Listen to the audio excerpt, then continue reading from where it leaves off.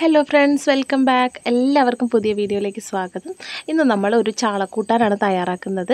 അപ്പോൾ ചാള മുളകിട്ടതും തേങ്ങ അരച്ച് വെച്ചതും ഒക്കെ നിങ്ങൾക്ക് തയ്യാറാക്കാൻ അറിയുന്ന കറികളായിരിക്കും. ഇത് ചാള തിളപ്പിച്ചതാണ്. അതായത് ഒരുപാട് പൊടിയോ ഒന്നും ചേർക്കാതെ കുറച്ച് ഒരു ഫ്ലോയിങ് കൺസിസ്റ്റൻസിയിലാണ് ഇത് തയ്യാറാക്കുന്നത്. നല്ല ടേസ്റ്റാണ് കേട്ടോ കഴിക്കാനായിട്ട്. അപ്പോൾ നമുക്ക് എങ്ങനെയാണെന്ന് നോക്കിയാലോ? അപ്പോൾ ഞാനിവിടെ അര കിലോ ചാള എടുത്തിട്ടുണ്ട്. അപ്പോൾ അതിന്റെ ഉള്ളിലുള്ള ആ മുട്ടയും നെയ്യൊക്കെയാണ് കേട്ടത് അപ്പോൾ നമുക്ക് മൺചട്ടിയിൽ എണ്ണ ഒഴിച്ചൊന്ന് ചൂടാക്കാം. വെളിച്ചെണ്ണയിൽ തന്നെ തയ്യാറാക്കാം കേട്ടോ. എപ്പോഴും നമ്മുടെ നാടൻ കറികൾ വെളിച്ചെണ്ണയിൽ തന്നെ തയ്യാറാക്കാം ഇനി നമുക്കിതിലേക്ക് ഇഞ്ചി വെളുത്തുള്ളി ചതച്ചത്. ഒരു അഞ്ചെട്ടല്ലി വെളുത്തുള്ളിയും ഒരു കഷ്ണം ഇഞ്ചിയാണ് എടുത്തിരിക്കുന്നത്. ഇതാണ് ആദ്യം തന്നെ നമ്മൾ ചേർത്ത് കൊടുക്കുന്നത്. അപ്പോൾ ഇത് നന്നായിട്ട് റോസ്റ്റ് ആവട്ടെ. ആ സമയം നമുക്കിതിലേക്ക് ഒരു പത്തല്ലി ചെറിയുള്ളി വലിയ ചെറിയുള്ളിയാണ് കേട്ടോ. അതാണ് പത്തെണ്ണം. അല്ലെങ്കിൽ ഒരു ഇരുപതെണ്ണം ഒക്കെ എടുത്തോളൂ. ഒരു രണ്ടോ മൂന്നോ പച്ചമുളകും കൂടി ചതച്ചെടുത്തത് ഇതിലേക്ക് ചേർത്ത് കൊടുക്കാം. ഇതൊക്കെ ചതച്ച് തന്നെ ചേർക്കാം നമ്മൾ അരിഞ്ഞ് ചേർക്കുമ്പോൾ വേറെ രുചിയാണ്.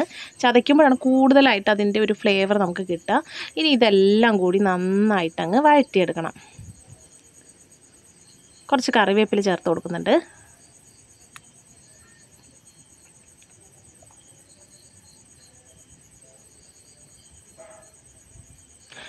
അപ്പോൾ ഈ ഒരു സമയത്ത് നമുക്ക് ഒരു സൈഡിലേക്ക് ഈ സവ ഉള്ളിനെയൊക്കെ ഒന്ന് മാറ്റിയതിന് ശേഷം ഈ എണ്ണയിലേക്ക് മുളക് ചതച്ചത് ചേർത്ത് കൊടുക്കാം. രണ്ട് ടീസ്പൂണാണ് നമ്മൾ മുളക് ചതച്ചത് ചേർക്കുന്നത്. ഇതിന് കൃത്യമായ അളവൊന്നുമില്ല. കാരണം എരിവിനനുസരിച്ച് നമുക്ക് ചേർക്കാവുന്നതാണ്. അതിന്റെ ഒരു ഇതൊരു മൊരിഞ്ഞ് കറിയിൽ ചേരുമ്പോൾ ഒരു പ്രത്യേക മണമാണ്. അത് കിട്ടാനായിട്ടൊരല്പം വേണമെന്നേ ഉള്ളൂ. അപ്പോൾ ഇതങ്ങ് റോസ്റ്റ് ചെയ്യുക നന്നായിട്ട്. ശേഷം നമുക്കെല്ലാം കൂടി അങ്ങ് യോജിപ്പിക്കാം. ഇനി ഇതിലേക്ക് അല്പം മുളക് പൊടി കൂടി നമുക്ക് ചേർക്കണം. അതിനായിട്ട് ഞാനിവിടെ കാശ്മീരി ചില്ലി പൗഡറാണ് ചേർക്കുന്നത്. ഒരു ഒന്നോ രണ്ടോ ടീസ്പൂൺ നമുക്ക് ചേർത്ത് കൊടുക്കാം. ഇതിൽ ഈ കറിയിൽ അധികം പൊടി നമ്മൾ ചേർക്കുന്നില്ല.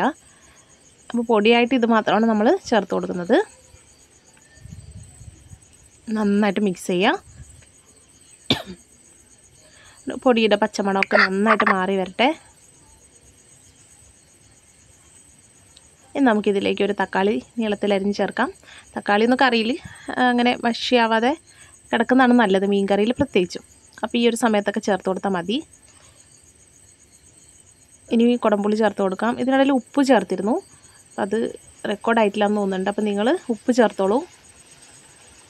ഇനി നമുക്കിതിലേക്ക് വെള്ളം ഒഴിക്കാം.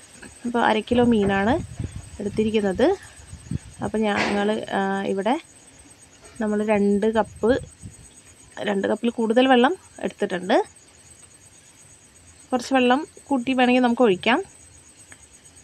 നന്നായിട്ട് തിളച്ച് വരുമ്പോൾ നമുക്കിതിലേക്ക് മീൻ ചേർത്ത് കൊടുക്കാം.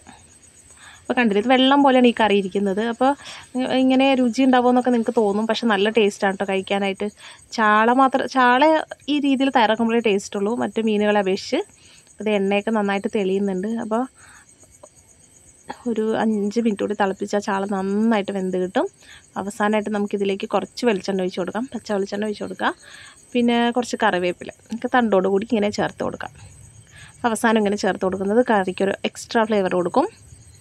അപ്പോൾ ഇത്രയായ നമ്മുടെ കറി റെഡിയായി. അപ്പോൾ ഈ ചാള തിളപ്പിച്ചത് നിങ്ങളും ഇതേപോലെ തയ്യാറാക്കി നോക്കിക്കോളൂ കേട്ടോ ഇത് സിമ്പിളല്ലേ തയ്യാറാക്കാനായിട്ട്? ടേസ്റ്റും സൂപ്പറാണ് എല്ലാവരും ട്രൈ ചെയ്യാത്ത